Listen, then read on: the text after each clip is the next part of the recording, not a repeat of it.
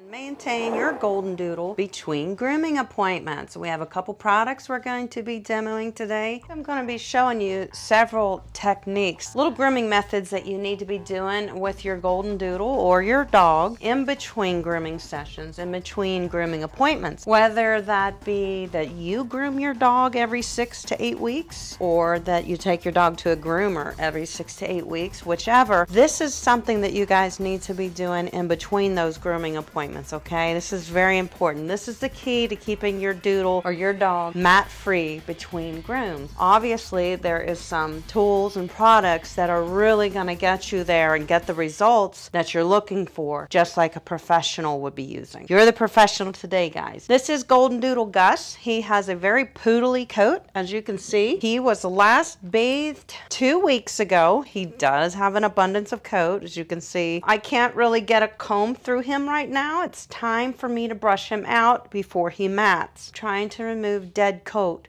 from his coat. That is what is going to turn into mats. Normally I use Quicker Slicker, which I am going to be using today and show you, and that is a Nature's specialty product that I use. But today I am going to share with you this new Tropiclean Perfect Fur detangling, dematting hair remover spray. I really like it. So I'm going to demo this for you guys and share with you the results on our Golden Doodle. I typically always use a slicker brush with Gus. This is my large Kenchii slicker brush. As you can see, I use it a bit.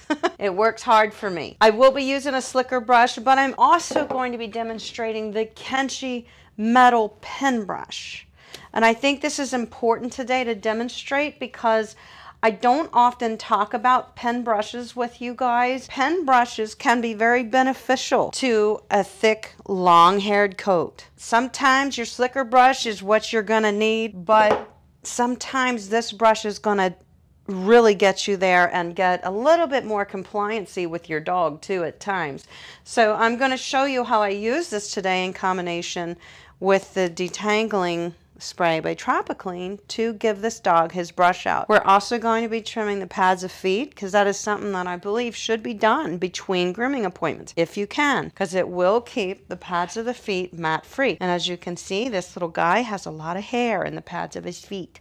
And of course, when we're doing our in-between maintenance on dogs, and I'm going to show you how to trim the feet with scissors as well in between. Another must in between grooming appointments is our sanitary trim to keep our dogs from getting feces and buildup and dirty things around their private areas.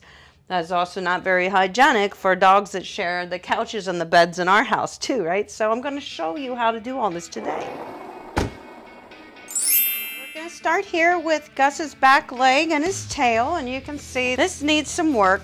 It's not matted, it's just been neglected for a couple weeks by his mom. So we're going to shake up our product. This is the Tropiclean Perfect Fur Tangle Remover. It mist very nicely into the coat. I don't like to brush out my dogs when their coat is completely dry. If you don't have a detangling spray, guys, put some warm water in a spray bottle like this and mist it into the coat when it's time to do your, your routine brush outs and keep your dog nice in between grooming appointments. So this here, this is the first time I've tried Kenchii's metal pen brush. I usually use a slicker brush on my Golden Doodle Gus. I can also go for this. This is a little bit more of a gentler brush. It may not pull as much dead coat as my slicker brush. Let's just give a little bit of a demonstration or comparison here, guys. I like my Kenchii slicker brush. This is the large because it does remove so much of the dead coat, which helps me keep Gus brushed out longer. He does not like his legs brushed, by the way, guys. Always be gentle. We want to get to the skin. See, he doesn't like it. Oh, stop complaining.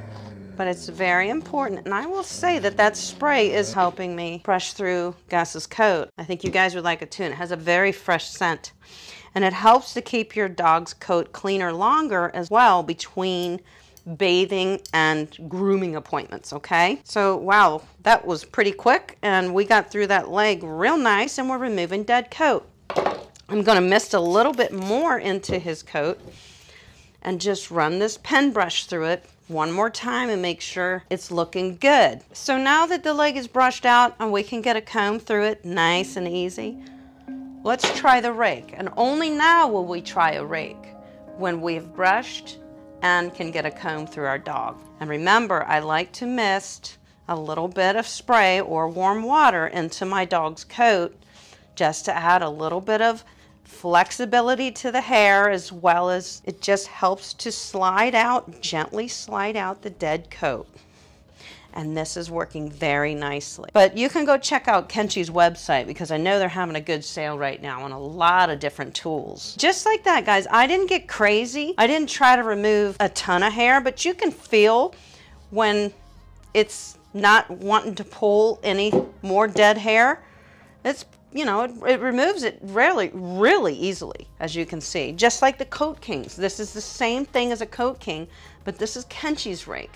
It is constructed very nicely, I will say that. And this is a nice tool to have during brush outs for a long-haired dog or especially a curly-coated or thick dog. I do not like to use undercoat rakes on double coats. But I feel like maybe they pull a little too much. I'm a little paranoid with the double coat because I never want to disturb that undercoat to top coat ratio. I'm really careful and conscientious of that when I'm grooming a double coated dog, you know, like a golden retriever, Bernese mountain dog, um, Pomeranian. I'm very conscientious of the tools that I use on a double coated dog. His leg is fantastic. So these tools worked wonderful. And as you can see, they have all removed dead coat from Gus. That's what's important. This is what will cause your mats, guys. So we have just eliminated that from our doodle. All right, guys, and I'm gonna brush out his tail. We're gonna put a little bit more of this Tropiclean Perfect Fur Detangling Spray in his tail. It mist out very nicely, very light mist. I'm going to use the Kenchii metal pen brush. Gus is very tolerant of this brush. I do not like to use the undercoat rake on my Gus's tail. As you can see, his tail is just not super thick. And if I would use the undercoat rake, I would pull out a lot of that thickness and his coat, his tail wouldn't look as full. And I like it to look full. So I'm not gonna go for the rake here. After we get the brush through, we wanna check with our comb, make sure our comb can nicely get through our dog's tail and the tail is brushed out. That was quick. That was real quick, guys. This brush actually helps these metal pens polish the coat a little bit, which is nice, adding a little bit, releasing some of those oils in there, adding a little bit of shine and luster to the coat, guys. We all like to see shine and luster to our dog's coat. It doesn't look dry and brittle, right? He doesn't really like to be brushed with a slicker brush. He tolerates it. It's, it's not hurting him, but he's a real sissy. I'll say that. I don't feel that pen brushes remove as much dead coat as a slicker brush would. If you're worried about breaking your dog's coat, let's say you have a bearded collie or an English sheepdog or something like that, you know, you want to be a little bit careful not to break that coat. So you may want to go for a good metal pen brush now I'm going to show you how to shave out the pads of these feet. As you can see, he's in between grooming appointments, but this is getting very long. So I need to get rid of this so that he doesn't get mats in here. That will be very uncomfortable. So this is what we're going to do next, and I'm going to use my Kenchii Flash Clipper. It's perfect for that. This is my adjustable blade on my Kenchii Flash. I do have a 5, a 7 blade that I can use. That's what I like about this clipper. I usually use it as a five in one clipper, which helps me do sanitary trimming, pads of feet around the face, and it's nice and quiet. But where I like it, and when we're doing our touch-ups in between grooming appointments, this is great because I can set it to a 30 and do the pads of feet and I can set it to a 15 or a 10 and do sanitary area because I would never want to do that area with a 30 blade. It will get too irritated. So I like to use a 10 around the privates and the anus on a dog. Let me shave these pads of him. We're going to set it to a 30 and I like to just come around the outside perimeter of your dog's foot. This is a pet trim, guys. So remember, we're doing what's going to keep our dogs the most comfortable and mat-free and clean. So this clipper just buzzes right through it. So I have trimmed around the outside edge right along the pads. Now we're going to gently just kind of remove the hair between his little toes and now in this big pad in a V shape we're going to gently pull back and push forward pull back on this pad and scoop, just cleaning out these pads beautifully. You don't want to apply too much pressure with a 30 blade because it could bring a little blood to the surface. It's a very close clip. If you're worried, you can always back it down to a 15. That's fine, and that's what's nice about this clipper. Here is a beautifully trimmed, clean pad of feet. Now we don't have to worry about our doggies stepping in mud and it getting caked in there or him getting mats from the long hair in his feet between grooming appointments. So if your appointment is set for a six week appointment, do this every three weeks. So we've shaved the pad and you can see how long the hair is here over his, his little paws, his feet. I want to shape this up a little bit between grooming appointments since we're doing a little bit of tidying up on him. It's fun to do this, guys. It keeps your dog looking great in between grooms. So what I'm going to do first, I'm actually going to use a blending shear. This is one of my favorite shears. This is the Kenchii Lightning Jonathan David series. And with his coat, I really like to use this because it just leaves such a natural look. It's not a straight shear, meaning this is a not a straight edge. This is a blending edge. So we're just going to shape around like this.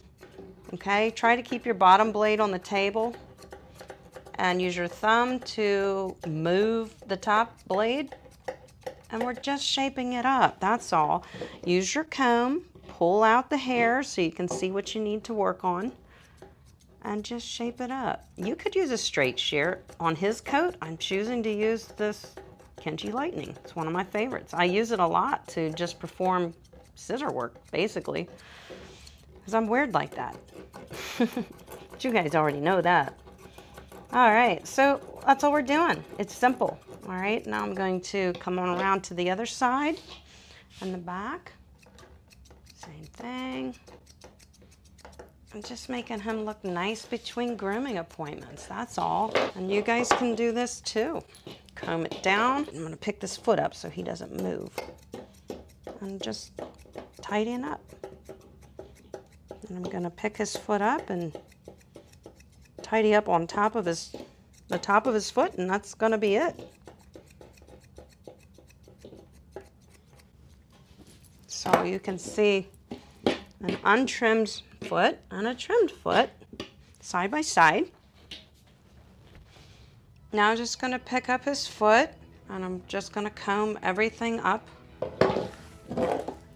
And I'm just I'm just shaping and doming over the top of his foot. This is just between grooming appointments, just to tidy up his foot so that he stays cleaner you know, from going inside and outside. And that's just gonna tidy up that foot between grooms.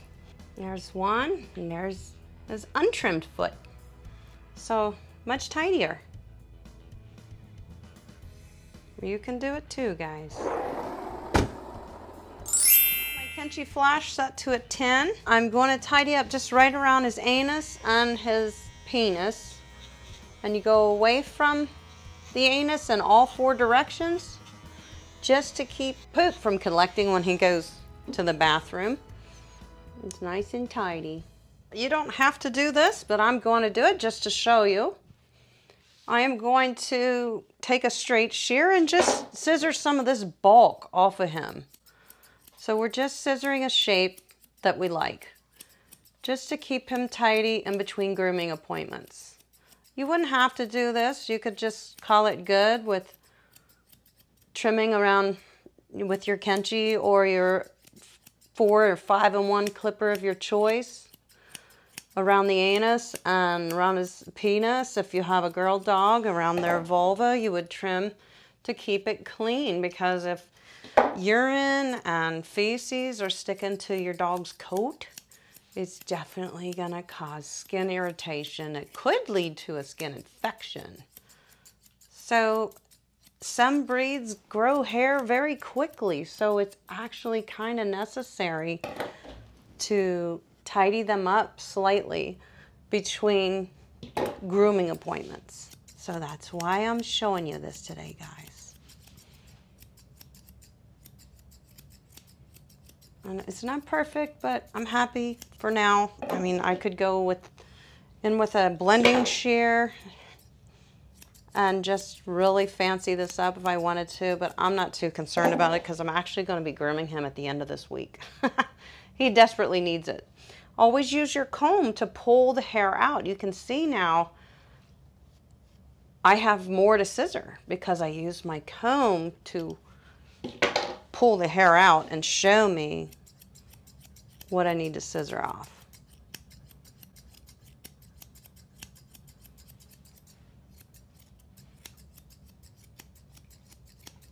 These are uh, eight and a half, yeah, eight and a half inch monk shears that I'm using. It's a nice affordable shear from a shear manufacturer called Monk, and I'm not sure who sells their shears right now. I was a big fan of them years ago, and I've kind of lost touch. I'm not sure if they're still making Monk shears. I think they are, so you might have to search that up. But they're nice, affordable, good shears for the beginner or the home groomer especially, I'd say. And the Kenchii Love series is perfect for the beginner groomer or the home groomer. Now I'm just going to clean up right in front of his pee-pee with a 10 blade, that's all. And you basically are just coming towards and away from the penis. It's very safe with a 10 blade, guys. And this is just to keep him him clean when he goes to the potty between grooming appointments. So we're going to use a little quicker slicker. We were using the Tropiclean Tangle Remover. Now we're going to try the quicker slicker because I've been using this forever and it is a super product. Remember, we are still finishing his brush out and we're just lightly misting a little bit into the coat. I'm going to first go for this metal pen brush and we're going to brush through his ear. When you brush your dog's ears, guys, brush right straight down off of the ear leather, but don't forget to turn that ear inside out and brush the inside. You will get matting in here as well, and a lot of people tend to overlook that. So don't forget, we're trying to avoid mats. This is our how to keep our doodle in good shape between grooming appointments. So the metal pen brush is nice for fluffing up your dog, but I will say that on this dog, the Kenchii Slicker brush tends to pull more dead hair out of the coat, especially if you're using your sprays. It really slides that dead hair right out of the coat. So depends on what coat type you're working with, guys. Kind of will determine the brush style that you're going to use to brush out your dog. Now, I can certainly go for this pen brush for Gus quite often when he comes in from outside and he's a little messy. This is a nice little brush to just kind of whisk off any dirt or mulch, leaves, anything he may have gotten into when he comes in from the outside. So it is definitely nice to have for Gus too. Obviously, a lot of people end up with quite the collection of brushes and tools, even if they're only grooming one dog. So don't be ashamed if that's you. If you have quite the arsenal of tools, I do too. I am a pet groomer, but even if I wasn't, I um, you should see my tools for my own hair. I've got quite the arsenal, you know, every little thing I need to do every little thing to my hair. I would say the Quicker Slicker and the new Tropiclean Perfect Fur Detangling sprays, both stand up to each other just fine. They both smell very nice too. That's quite nice as well because this is going to help keep our dogs clean and brushed out longer in between our bathing appointments. So it's nice to have those detangling sprays like your Quicker Slicker, your Crown Royale Magic Touch. I do have a lot of these products linked in the description below if you want to get a jump start and just go and check them out. I'm not affiliated with any of these manufacturers so I'm just telling you guys what will help you produce professional results with your pet at home and keep your dog in good shape between grooming appointments because that's what we're trying to accomplish here today. So here he is, he's all done. Oh gosh, see I need a nap. Nice and tidy feet, nice and clean pads. Very important. in the back here. So we poopy or pee-pee stuck to his coat in between grooms. And yes, remember I shaved that hideous heart? it's hideous now that it's growing out. As soon as I give him his trim this week, it'll disappear. But here's our cleanup, golden doodle, touch up, in between grooming appointments, trim.